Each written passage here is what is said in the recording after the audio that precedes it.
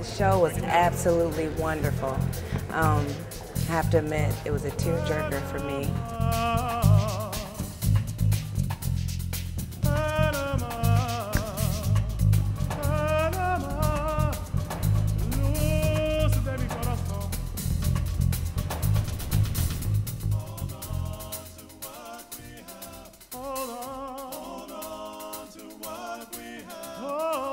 You have a two-time Grammy Award-winning opera singer on your stage. Should I say more?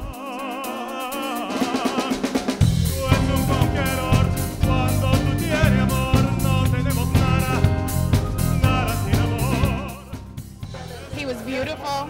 He's a wonderful artist, a wonderful person with a heart of gold, and I'm so glad I got to see him. I, uh, I've been seeing him and perform since he was three years old, and uh, every time I see him, he just surpasses my expectations. I love the first halves, the, the Bonds and the Aaron Copland and some of the great music of the 19th and 20th, early 20th century. So it was, it was fantastic.